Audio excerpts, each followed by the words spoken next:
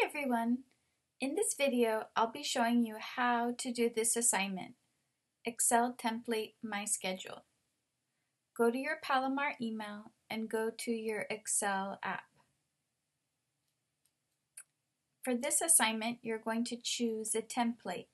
Click on More Templates. Choose a template that will allow you to create a schedule. You could choose weekly task schedule,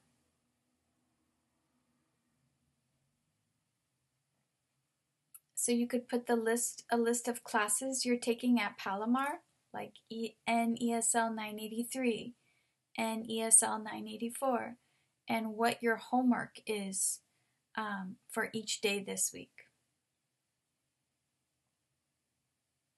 And you can make a task list if you want.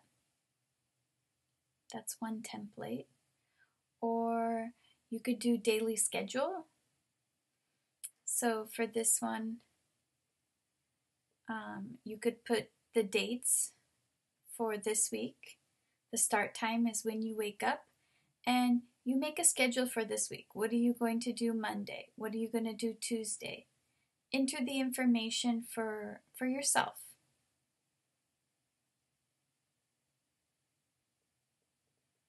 Another one is my class schedule. You could make a list of the Zoom times for your fall semester.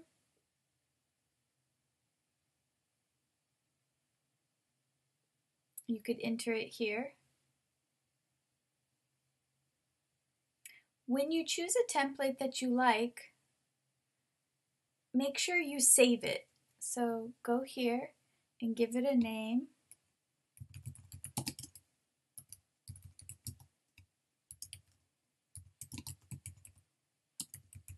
So that way you can identify it later. Then you start entering the information for you.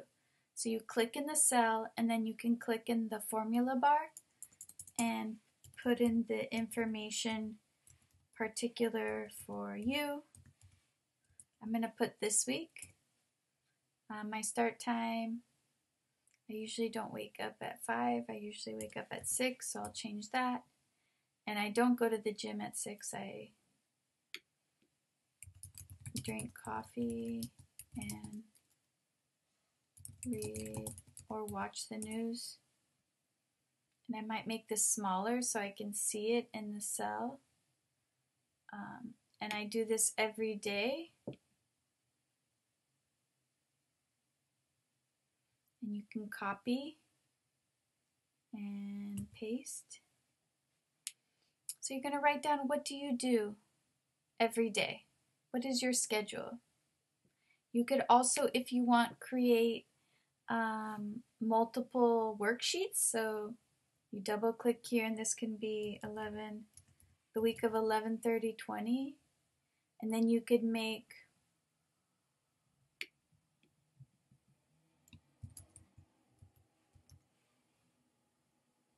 and then you could make one for next week. So this would be December 7th what's your schedule for the week of December 7th, and make another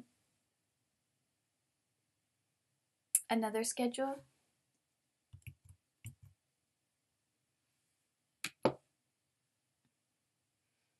And you can also duplicate.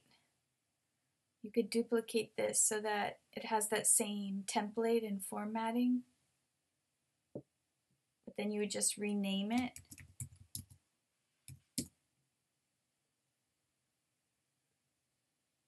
So I might delete this one.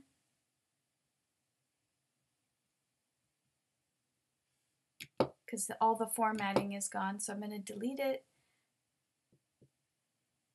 And then